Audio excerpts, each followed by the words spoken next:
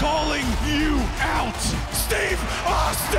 At WrestleMania, Stone Cold is gonna open up can of whoop ass on you, Kevin Owens. Expect the unexpected on Raw.